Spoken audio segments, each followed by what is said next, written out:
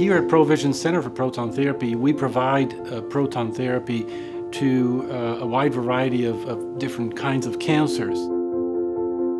Proton therapy is the most advanced form of radiation therapy.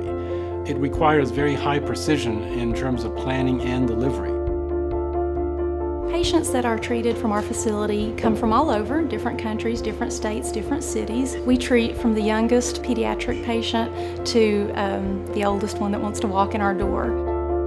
The proton field developed tremendously fast over the last couple of years, especially with the invention of uh, pencil beam scanning. It just happened to be that uh, uh, was the latest uh, technology available. Everybody was telling me at that point that RayStation is by far better than anybody else, and my research uh, confirmed that.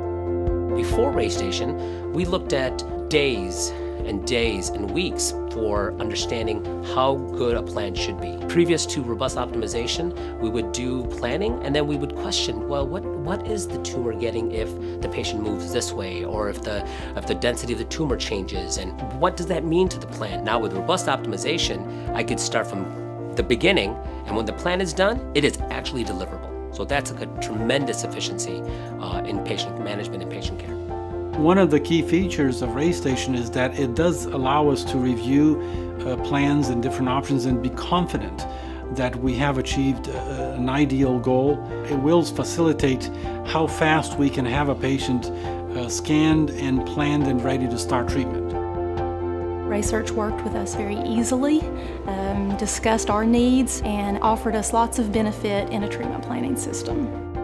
The efficiency that RayStation brings to the table allow us to adapt treatment plans so that we continue to deliver the optimal treatment to the patient. I honestly have to say that uh, we are yet to find a single bug in the proton code of RayStation. We want deformable fusion, but we also want deformable dose. So RayStation has deformable fusion, it has deformable dose. That's something where the technology is going. So I need to be able to adapt to that technology, and RayStation is putting me there where I need to be. With adaptive therapy, we can see tumors shrink away almost on a daily, but at least on a weekly basis.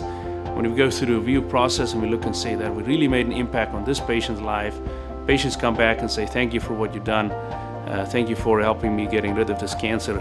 That is what makes a good day